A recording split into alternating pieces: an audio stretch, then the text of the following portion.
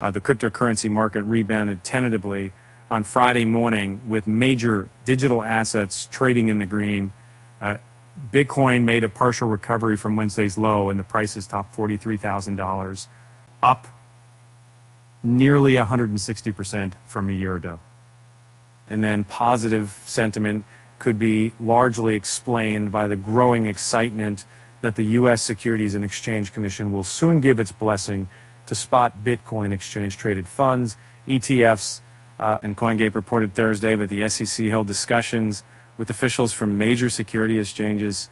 Uh, furthermore, Grayscale, one of the Bitcoin ETF applicants, filed its Form 8A with the federal regulator in hopes it would get the nod to offer shares of its Bitcoin ETF as securities. Uh, amid the buzz around Bitcoin ETFs, the BTC price went up 1% over the last 24 hours to $43,632.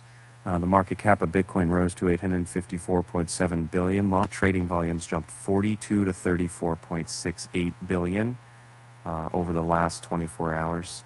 Um, Ethereum also gained nearly 0.46% over the last 24 hours and was trading at 22.49 at press time with its market capitalization increasing to $270.3 billion, trading volume store at $11.6 billion, up 66% over the last 24 hours. Other tokens advanced too, with Tether, the third largest crypto, climbing 0.03% to $1.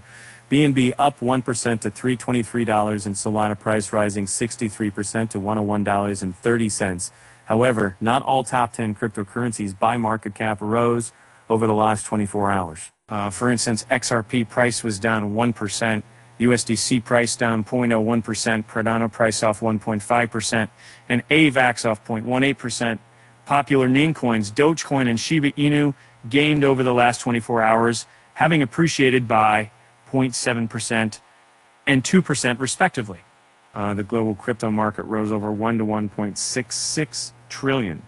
Um, the, the fear and greed index level stood at 70, uh, closer to greed. Uh, the price of Pepe coin was down more than 0.2% over the last 24 hours to 0.000011213, with its market cap standing at $508.6 million its trading volume again. But it is the next $50 million is going getting vaccine $550 million in the Aptos blockchain's native token APT rallied nearly 14% over the last 24 hours. The altcoin last changed hands at 1049 with its market cap zooming to $3.2 billion.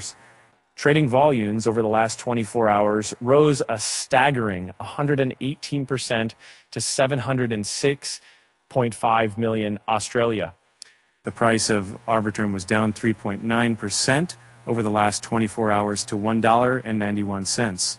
At press time, its market cap stood at 2.43 billion, while trading volumes over the last 24 hours crashed 50% to 1.6 billion dollars.